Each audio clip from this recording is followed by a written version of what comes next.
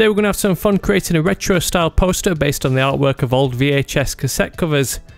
We'll use Illustrator to construct the design with text and shape elements, then we'll quickly send the final artwork over to Photoshop to give it an aged appearance with texture overlays.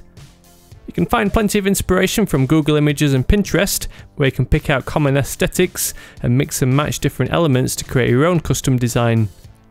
This is the artwork I'll be producing in this tutorial. It uses the popular trend of colourful stripes and retro shape patterns combined with simple text elements that represent the various features displayed on the authentic examples.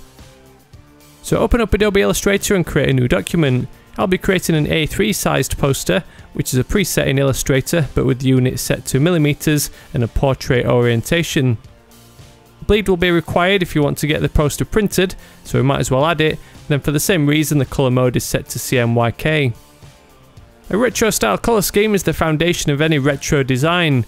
I used the website Coolors to find a cool palette. You can hit the spacebar to randomly generate different colours, then lock certain ones to narrow down your selection. You can either note down the hues or take a screenshot of the page.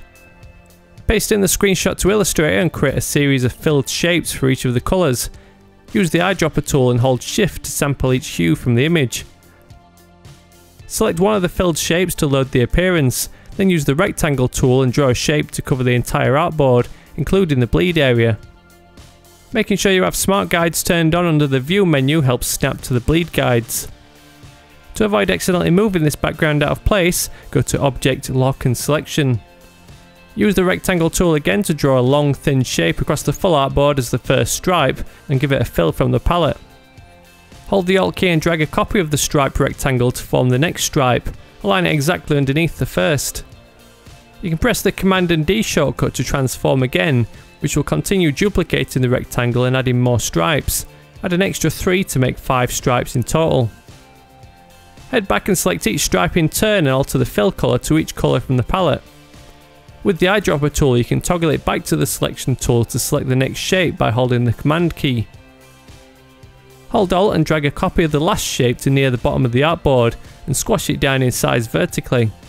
Select both of these shapes by holding the shift key while clicking them both, then go to Object Blend and Make.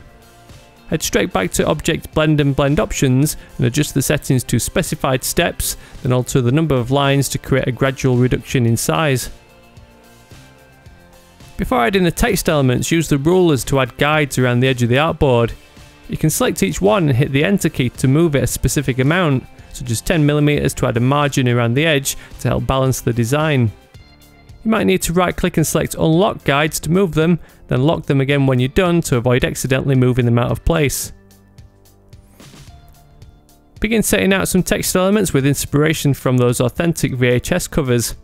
Simple sans serif typefaces are commonly used, so I'm using Helvetica Neue or Neue if I was to try and pronounce it right. Set every font element with a fill from the colour palette.